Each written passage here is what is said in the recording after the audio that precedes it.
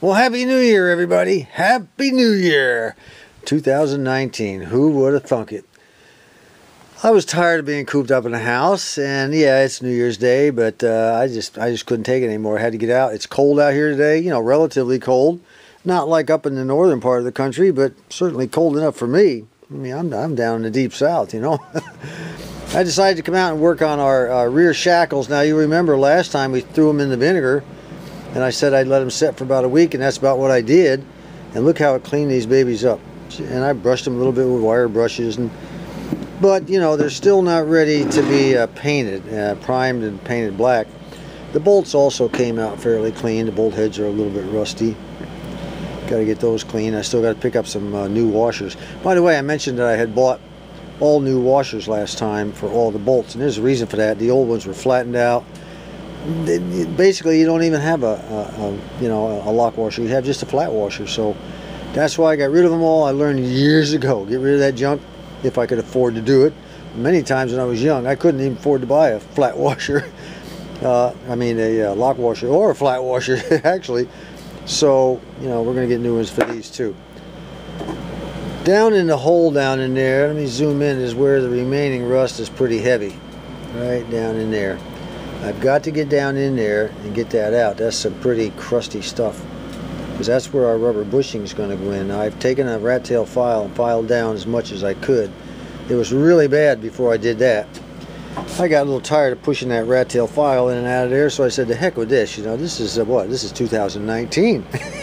Oop, don't drop your camera, John. This is 2019. Let's just go to Walmart today and pick up some grinding stones. There we are. These are aluminum oxide, and I got a package of, I think there's four in there, five maybe and I'll be using the electric drill to, you know, to go up and down there and get as much out as I can. Then we'll go ahead and throw all of this back into the uh, into the vat of vinegar, into our tub of vinegar. But you know, there's some other things I still have to do with it. I'll grind off a little bit right here. A lot of that's going to have to be ground off. It won't come off. The rust. The vinegar didn't eat it away, and I tried to file it off with the uh, rat tail file a little bit and that didn't do any good either. So we're going to go ahead and work these babies over and when we get done we'll go ahead and put them in there but before we can do that there's something that absolutely needs to be done well, what absolutely needs to be done is these brushes that I've been using for all of this rust removal, they have had to lick. Look at that, most of the bristles are missing from that one. That was for the really heavy uh, coarse rust to scrape it down as much as possible. And then, of course, the, the brass bristle brushes are totally wiped out. So we need to throw them away. Let me get rid of those. And we need to clean this mess up. Boy, I'll tell you what, this is terrible. Terrible. However, look at the color of that vinegar. Five bucks worth of vinegar, but I'll tell you what, it derusted a lot of parts for us. We got our five bucks worth out of that. So I went out this morning when I was down to Walmart getting those grinding stones. I went ahead and picked up a couple more gallons of vinegar.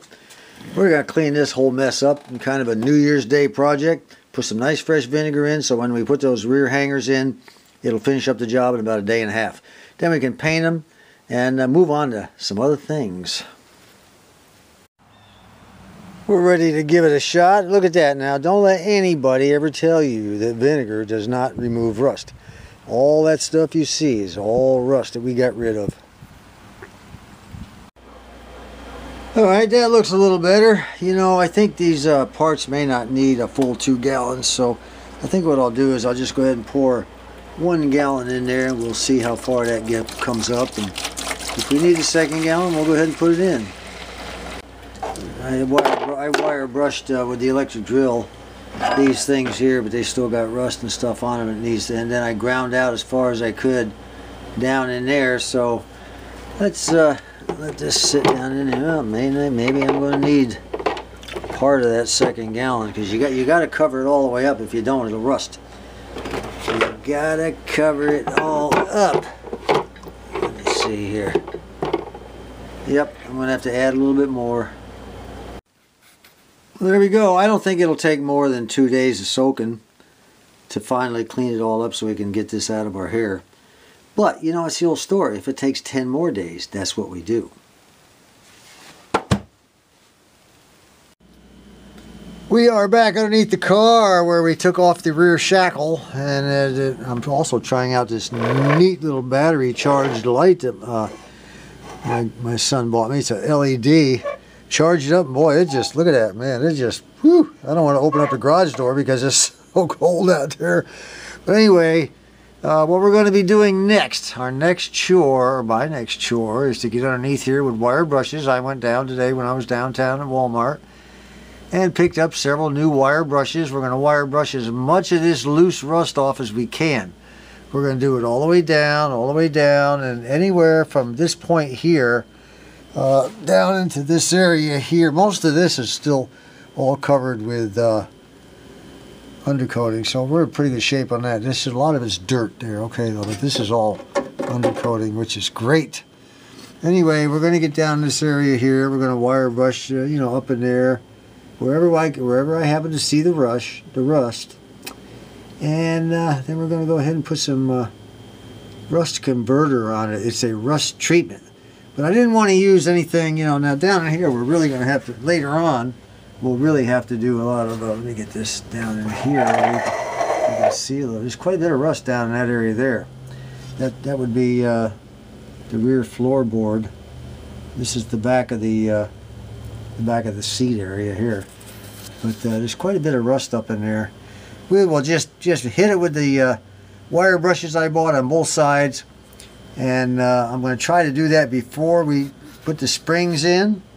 And uh, the springs come all the way down. They're real long and they're going to hook way back. And here's where those front hangers were all the way to the front there. See it right there? My, right there is kind of a... So all of this area in here is going to have to be pretty much uh, wire brushed. Then we're going to spray it with some stuff I got. Uh, so that converter I was telling you about, and I'll show you what it is. Now this is what we're going to be using, the Permatex rust treatment.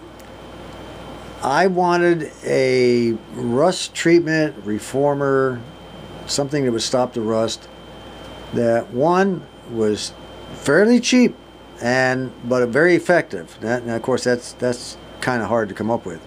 Very cheap, very effective. I wanted it locally available so I didn't have to keep messing with shipping charges. That this shipping charge business is driving me crazy. I wanted it to be in a spray can and I wanted it to be a brand that I recognize. And this is Permatex. I recognize that. Brendan and I kicked around several types of, uh, you know, rust reformer, rust preventive, that sort of thing, rust converter but and, and, they all looked good. I mean, there were videos on it and everything, and I had looked up a few. He looked up a few. The problem was I didn't recognize any of the names, and it was pretty expensive. Some of it. I didn't want to sink a lot of money into a treatment that would not really work because I'd be out the money, I'd be out the shipping, I'd be out everything. You know, I wanted something I could find locally. So, and if I could run low or I need some more, I could just run down and get it.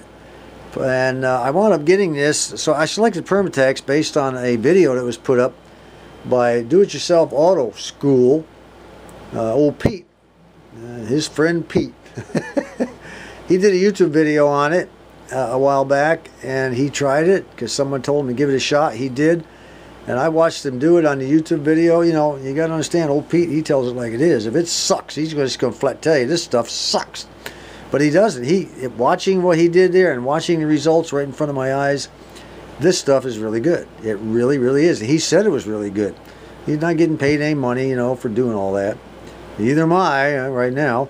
But anyway, uh, it worked. And when he got all done, it, I mean, it just turned the rust black. He put three coatings on there to make sure it did really good. Sprayed it on in there, showered it down in there where there was a bunch of rust. And he said, you know, it works so well that looking at, you know, talking to his viewers, he said, this solves the rust problem to the point that you will never have to worry about it as long as you own the car. I got a bug on my finger here. Get out of there. Anyway, so that's why we're going with this. Uh, one can for one side of the car at the rear, one can for the other. It'll be it'll cover up to about the middle of the uh, what they call the package tray, the rear deck underneath the windshield, the window, and the inside the car. You know, the, the basically the uh, the uh, leaf spring area after I wire brush it. I'll wire brush off as much as I can. It's going to be a nasty job, but so what? You know, when I get done, I'll just spray it And know, I'll probably put two, three coats on, just like I watched Pete do.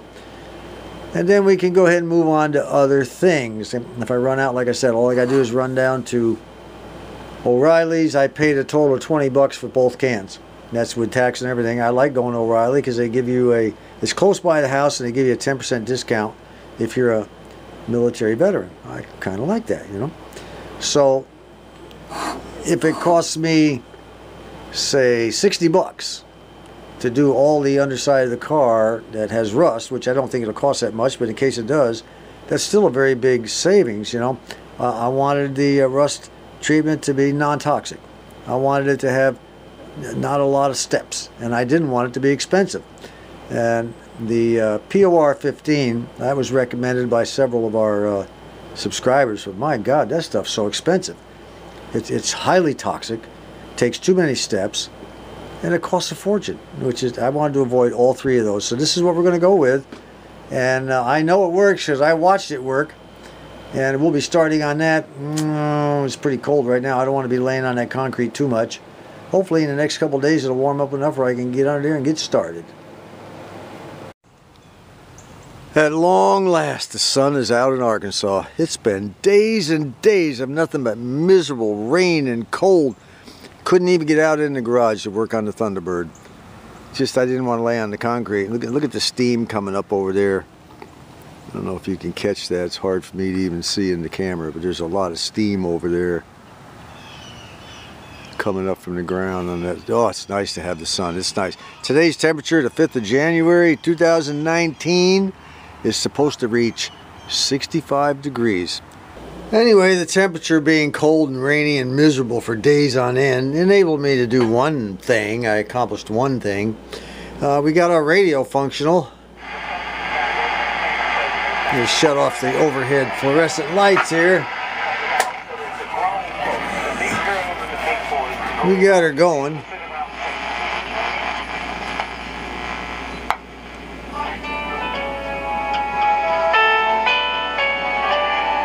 I still want to give it an alignment. It needs one last alignment. But uh, everything's functional now. I'm a happy camper.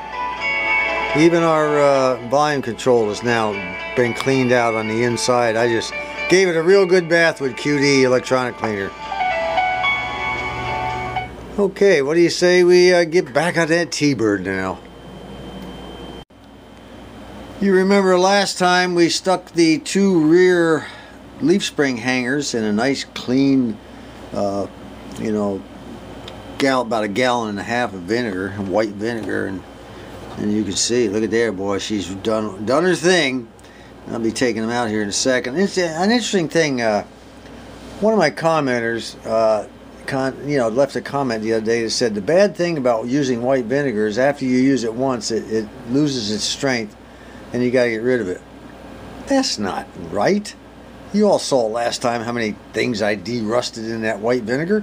It just went on and on and on until it finally got so dirty I had to get rid of it. But that is not true. You just keep using it until it no longer works. Alright, let's get down in here and see what we got. I'm interested to see how much rust is still left in the center holes. Oh, almost none. Now that I like. Ooh, ooh that's looking really good really good. We're going to give that a good wire brushing and a good paint job.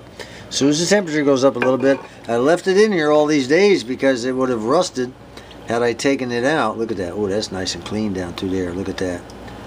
Anyway, uh, it was too cold to paint and uh, it would have rusted if I just you know had taken it out and washed because you have to wash this vinegar off in the sink uh, in the house or wherever you want with soap. I use a paintbrush, dishwashing soap, and then I just give it a good scrub and a good rinse then dry it with a paper towel or a cloth or anything best I can and quick throw it in the oven on warm and I have a warm setting on our stove.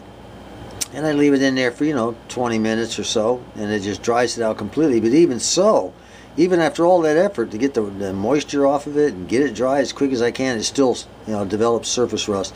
So you got to run it right back out here real quick and get some primer on it some good Rust-Oleum primer and that takes care of the problem. Once it dries, you throw your black paint on like you've seen me do, and we're done. The temperature is finally nice and I can go ahead and crawl underneath the car and get working. Uh, what we're going to do is be using this large wire brush and this small wire brush and uh, we're going to just knock off the surface like I said of all the rusty area. We're not going to take it down to the metal. We're going to do the best we can, get all the loose stuff off. And uh, then we'll go ahead and spray it. Well, I'll probably take an alcohol rag and uh, go ahead and go over the area where we, you know, wire brushed. And then once it, it you know evaporates and everything then we'll go ahead and hit it with this Permatex rust treatment. Now anytime you do this of course I'm going to be working over the top of my head. I don't want to be breathing all that. And, and it's almost an enclosed area. Even though it's open under there you're kind of you know in an enclosed area down there and uh, it's good to wear a face mask uh, you don't want to be breathing in all that rust dust so let me get started here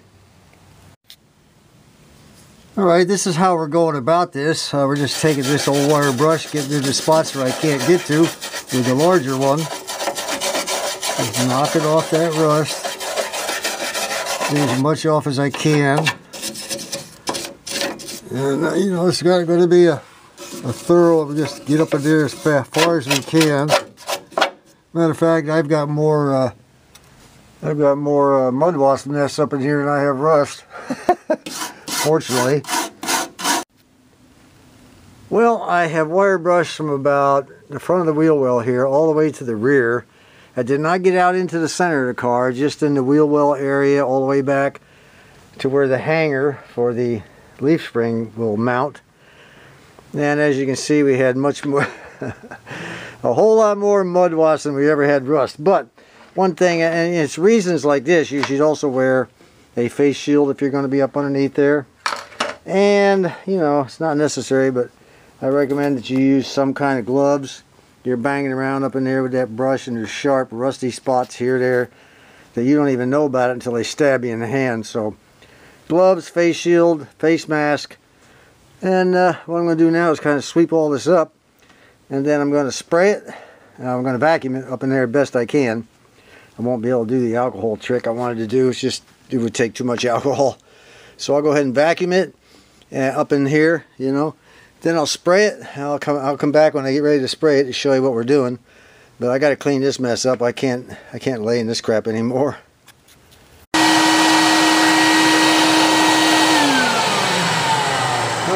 Alrighty. She's all vacuumed out, but I'll tell you what, here's something I don't like.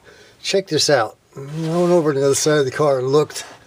It's not like this. This has been bent up and it's a place where all kinds of mud and all kinds of stuff can catch and lay in there start rusting out. I'm surprised it hasn't done so already. So I'm going to take a pair of vice grips. We're going to bend that back down just like it is on the other side. Let me see. Where did I put my vice grips? Hang on. I'll give you a chance to watch me do that. All right. I'm not quite able to get down into there on this side of it because it's got a lot of rocks and crap down in there. So let's start taking it down a bit at a time. Just a bit at a time, and then we'll go ahead and move it over to here and bend it down and move it to here. Vacuum this out, dig it out as much as we can until we get it all down. Let me see. Come on, there. Of course, my vice grips don't want to cooperate now. There we go. Okay, one more. We'll come over here. Got to get down as deep as we can. and keep on moving across. So I'm going to keep going back and forth. So I get on the other side, it's actually straight down, just like it is right here. Alright, she looks a whole lot better.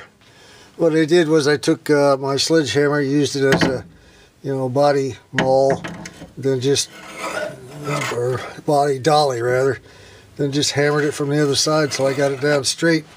She looks pretty good. She looks just about like the one on the other side now. Now I'll have to wire brush it.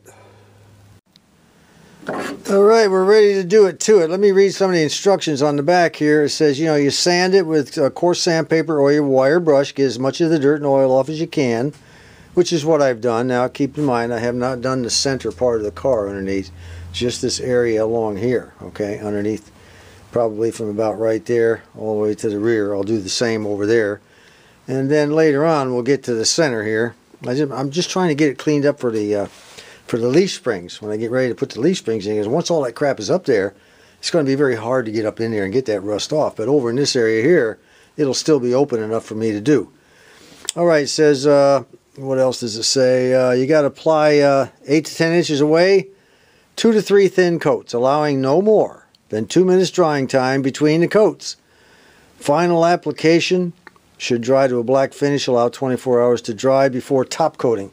Well, I'm not sure what they mean by top coating. I guess they were talking about paint, but I think I can go ahead and use undercoating over the top of this stuff. You know, thin coat. And if any, and if you if you use a thin coat of undercoating and not gook it up till it's you know a foot and a half thick, if you if you just use a thin coat of undercoating uh, under, over the top of this sort of thing, if rust begins to develop, you'll probably see it. And you'll be able to knock it out, spray it again, and uh, hopefully I won't have to spray again. This stuff is supposed to. It says right there. It says destroys rust on contact. Well, let's get under there and do some spraying, and I'll show you what I'm talking about. Oh yeah, one more thing. It says to use gloves so it doesn't stain your hands. But you know, it's kind of interesting. It doesn't say anything here about shaking it up. I'm going to go ahead and shake it anyway. What the heck. By the way, this rechargeable light has really been a savior here. This is fantastic. You charge it up, it takes about five hours, I guess, but you get four hours of light out of it. Well, that's pretty cool, and it really does light things up. I am really happy my son got me that. He bought several things. Uh, you'll be hearing about those at a later date. He bought them for the uh, Thunderbird.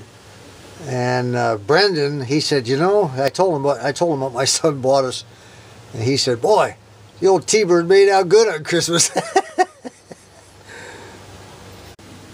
All right, here goes. I don't know if it's going to work or not, but it better. Let me get up there as far as I can.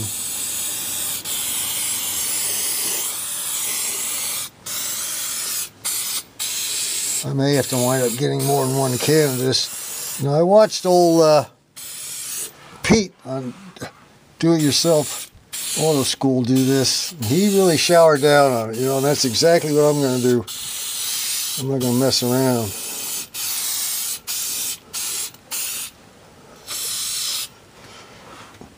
So far, so good.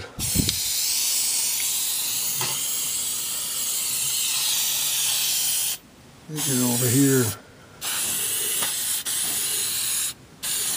Boy, doesn't smell too good. I'll tell you what, let's give this, uh, I'm all done spraying. Let's give this thing a little, a little really big test. Here's our rusty old tailpipe. Let's go ahead and spray that thing too and see what happens. By the way, one more precaution. Uh, this stuff here is not to be used on the outside of the car. It's not to be used here. It's to be used up underneath the car, places like that, maybe on the inside of the car, under the, you know, on the floorboards where you might have some rust something of that nature. If you got a now, if you have a rusty hole here, like I'm probably going to have, uh, and you have to you know take this out or grind it out, and you you find out that there's rust up inside here, you can spray it up inside there and down and around the best you can. But just don't put it on the outside of the car and then try to paint over it, unless you just don't care. I mean, it's, it's your car, no biggie. Well, that's it, guys. We're all done. I used almost the entire can. I really wanted to shower down on that under there because uh, I don't want to have to go back under there and do it again before I, you know, we stick the leaf springs in, which will be coming in and in the not too distant future. Uh, we're working on that as well. Right now, let's uh, let's go back to the last video on the computer and look at some of the suggestions that everybody gave me on, you know, fixing the holes in the trunk and how to do it. Let me see if I can get this camera to focus. God, it's just rough on white. Anyway, we're going to go ahead and uh, read those comments, and I'll maybe comment on as we go down. And let's see what we can come up. Let's see if we can come up with a winner. We have Wayback Tech here. He says reinforced body filler would fill the holes. He said he's done it before. It works well. And uh, JB Weld, he said might also work if you put tape on the other side of the trunk. no kidding, you know. I don't want it to drip out all over my floor, that's for sure. All right. Ron C. Let me see. He says Use rubber grommets. This uh, assumes all rust is gone. Put a strong magnet and a piece of cardboard under the underside of the card and fill the holes with JB Weld. A magnet and cardboard, okay. And then he says use a rubber plumbing seat washer on both sides of the hole and use a brass screw to hold it all in place. Well, I'll tell you what, Ron. I think you better change your brand of a liquor. All right. Uh, let me see what we got here. We just keep on going. Here's a fella right here, uh, Pablo Picasso. He says he he's from the old country. And he does have a 65 T-Bird in his garage. How about that? There's one of the folks that uh, has been paying attention to what we're doing here, I assume. And uh, Here's a fellow, James B. He says, I've been looking at a 64 to 66 T-Bird for two months now. He wants to kind of lean toward the 66, though. He likes the way the taillights blink. And I don't blame him. I'm the same way. he said he's going to be 42 years old next month. And he's always liked those older cars. Well, good for him. Uh, let me see. Everybody's saying Happy New Year and all that. I do appreciate that. Thank you. Here's a fella says, uh, use body panel adhesive. No, that's a good idea. It would take a whole lot. Uh, he said, "Yeah, adhesive strong and it glues on panels and cars with it. They sure do. They they put floorboards down with that stuff now. I've been checking around with that body panel adhesive. That stuff, that stuff is really really strong, and a lot of your uh, body uh, shops are using it. Uh, here's one from Old 64 Goat. He says, uh, put Bondo glass to fill the holes in the trunk. Uh, you know, every time I hear the word uh, Bondo, I, I, go back to my young days of, I remember, it, it's Black Magic. It was called Black Magic. It was the Bondo we all used when I was a kid. It was it was cheap. It was on the market. And it was junk. I keep every time I hear Bondo, I think of that. Uh, here's one here from uh, KF6 MYV. Tape the bottom of the hole. Fill it with epoxy. And sand it flat. Okay. And uh, let me see. Here's a guy who wants me to send some of our weather up there. Old Spirit Wolf 522 up there in Ohio. I wish I could, but I can't. uh, let me see. I think there was one or two more. Rebel 9668. And uh, he said he got to drive uh, to Tennessee all the way in the heavy rain that we had here recently. Oh, poor guy. That was pretty bad stuff there see. Uh, what else we got here? I'm sure we've got one or more uh, comments here on what to do about that. I may. I hope I didn't pass any by. Here's Vincent Del Vern Venero. Uh, he wants me. He says he, he likes the car and he can't wait to see the jukebox rebuilt. It's already been rebuilt, my friend. 87 videos. right now, it's just got a little uh, little uh, uh, a little defect I gotta correct and do a little troubleshooting on malfunction, as they call it, but we'll have it ready. But it's all been rebuilt completely from top to bottom. Uh, let me see. Fiberglass, yeah. Rock Oobster. He wants the fiberglass, not Bondo putty. I don't know, man. I, I messed with that fiberglass in the past. I do not like messing with fiberglass. It is a mess. The cloth, you know, you got to cut the cloth. The stuff sticks to your hands, your fingers, sticks to your gloves, it sticks to everything. It's just too much of a hassle. You know, I, I've used it. Uh, lots of times, but I kind of get away from it nowadays. Uh, let me see. Tiny Ondos. Okay, Mark Duncan Broad. He says uh, you need some uh, water and gas vapor resistant, something that's water and gas vapor resistant that is easy to apply. JB Weld makes epoxy uh, putty product called Tank Weld. I know. I know exactly what it is. He says it's tough as rat's teeth. It can be sanded and painted. Works for me. Marine Tex makes a similar Equally good product. Yeah, all right. JB Weld, Johnny Draco says JB Weld on the holes. William Lane says seam sealer. All right, I guess that's about it. Let me see. Uh, I'm a junk collector says uh, we got to pet some sardines and Vienna sausage, but I'm glad I read that twice. I, I thought he wanted me to pack those holes with sardines and Vienna sausage.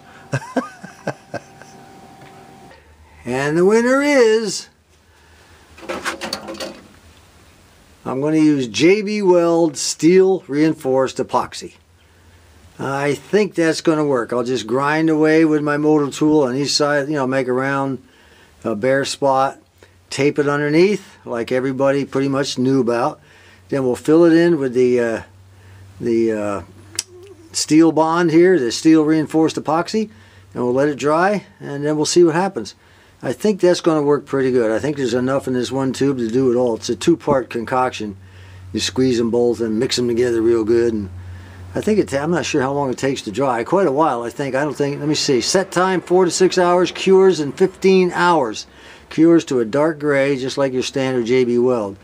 Then we'll go ahead and just. Uh, I'm going to try to smooth it down enough where I don't have to sand it. I mean, after all, this is all going to be covered up eventually with a sound deadening material and a carpet.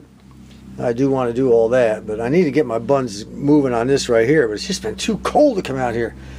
All right, uh, I think what we're going to do now is just uh, hold off until tomorrow. And the rest of the week's going to be warm. We'll hold off till tomorrow.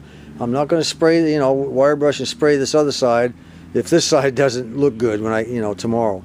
So we'll find out if this treatment's going to work. If it looks real black and it looks real good, then yeah, we'll move over here and hit the other side. Alright, the primer's been on. Let's go ahead and finish this up with some black paint. I think when we get done, it's going to look real good. There's not a lick of rust on those things anywhere. I am just so happy about that. Well, they turned out real good. I mean, that old vinegar made the job so much easier. I mean, all I had to do was put a coat, you know, a couple coats of primer and two, three coats of uh, black gloss paint on it, and I was done. That's all there was to it. So we'll go ahead and get them in a box. I'll probably let them sit here for another day, really harden up good. Then we'll stick them in a box, or I don't know, maybe I'll bolt them back on the car. That's probably what I should do. Just bolt these back on. Get it, get them ready to go. Well, it's the next day and all of our rust treatment is dry. And I'm very happy to report that the only place where there was rust is where you see these specks.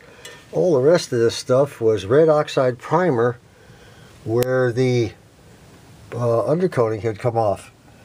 So all we have to do now is start uh, spraying it with a, you know, an automotive primer. I have lots of extra left over here in this can that I didn't like before because it has kind of a rough texture, but it'll work underneath the car. And I also have this can here that's a primer and paint together. So we'll go ahead and shoot the you know what out of it. We're just going to go ahead and get it all covered, let it dry for a day or so. In the meantime, I'll work on up in this area here uh, today, finish this up. And on the other side where the, uh, where the other hanger uh, attaches, and then we'll be ready to shoot some undercoating over the top of it. Now I'm not going to spray everything with primer, just the areas where the uh, undercoating is missing and the uh, rust treatment was sprayed. All the rest up here where the you know the undercoating is, there's no need for that. Be a big waste of money. I am a dirty mess once again, but I am happy to report that the front section of the car where the where the front hanger bolts which is over here and all of this up through here has all been wire brushed. And I'm happy to report that most of it after I got the dirt off most of it is that red oxide primer again. Almost no rust at all except on the bottom of the uh, the floor pan and the back seat. This is where the, the, the uh, back part of the back seat and the floorboard down here. Kind of give you an idea. This is the front of the car down here. And uh, we're going to do the rest of it later. But for right now I think we're in pretty darn good shape. All of this is uh, uh, undercoating. All of this undercoating has just been worn off over the years. Don't ask me why. And uh, all of this is all undercoated up here so that's in good shape I'll be running into the same thing on the other side of the car over there. Not too bad. Most of it is just dirt. Alright, that looks real good up in there now that I've got it all primed. I only primed the areas where the metal was had been treated with the rust. The rest of the areas we just left alone, it's just undercoating. Right now I'm gonna, it's all dry, I'm gonna go ahead and take my undercoating now and just give it a light coat. Well, that's it for the undercoating. I went ahead and undercoated everything. I gave it a, I gave it actually two light coats just to make sure, okay? But I can't see any place that's rusted now. Everything else has, you know, the old undercoating on it. We should be good to go. And we'll just let that dry overnight. Now I just sprayed this whole area with the uh, rust treatment and you can see there's almost no rust there at all. It's almost all just exposed red oxide primer.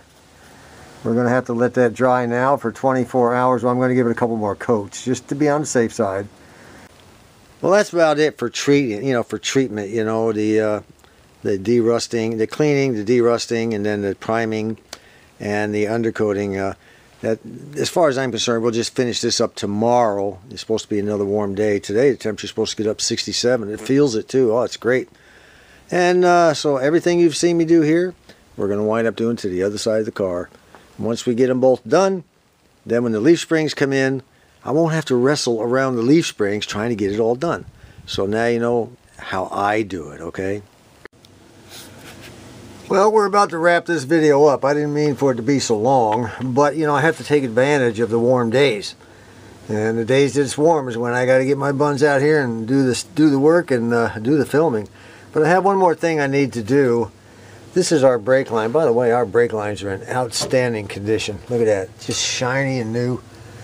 I don't think I'm going to mess with those brake lines. I think they look they look just great all the way to the front of the car. Look at that there is a possibility they've been changed. I don't know. I mean, you know, you'd think a car this old would have rusty lines. Even the gas line that it's running next to is uh, really nice and shiny and everything. So there's a good good possibility they've been changed in the not too distant past. So what we're going to do though is this brake line here will come through this hole here and then hook to the rubber line that goes down to the axle. This is where they connect and join together. But right now it's just kind of dangling free there. So what I need to do is I don't want to be spraying that hole right there full of undercoating.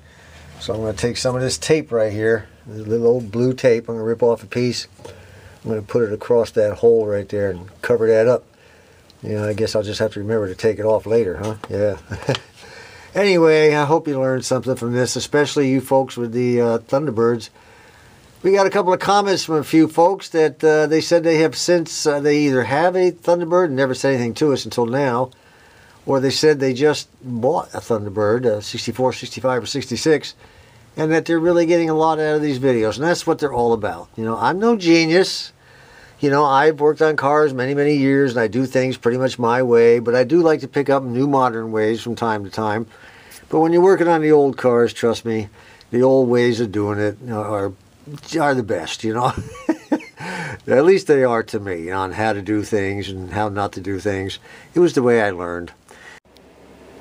How long has it been since we've tuned in uh, WSM Nashville 650 on a radio that I repaired and had it on a video? It's been a long time. I used to love tuning in WSM at night, and I always used that as my test station to make sure my radios were functional because it's it was one of those faraway stations. It took quite a bit to pull it in. Let's see what we've got here. Mix a little car repair in with country music. I mean, that, that's the best life, huh?